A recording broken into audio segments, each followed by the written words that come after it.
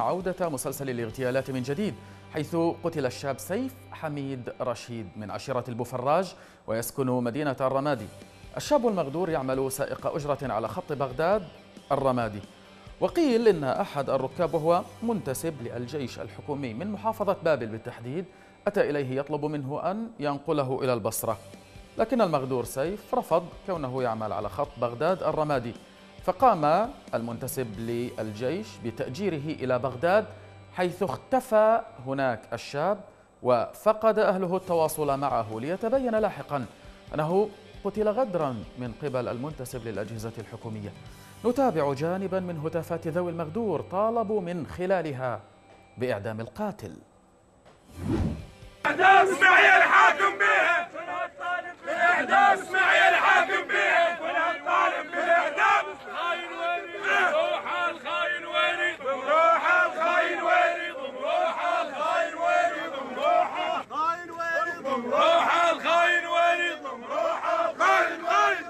محمد. روحك هاي وين روحك روحك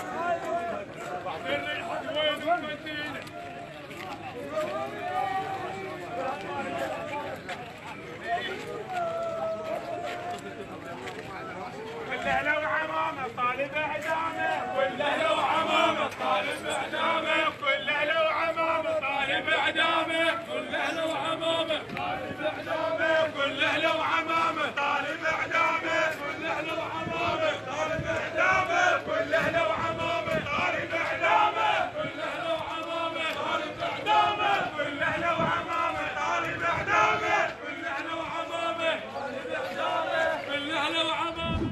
بعض النشطاء عقبوا على ما قام به هذا المنتسب للأجهزة الأمنية بحق المواطن سيف الفراجي بأنه يأتي في إطار حالة الخلل الأمني المتواصلة.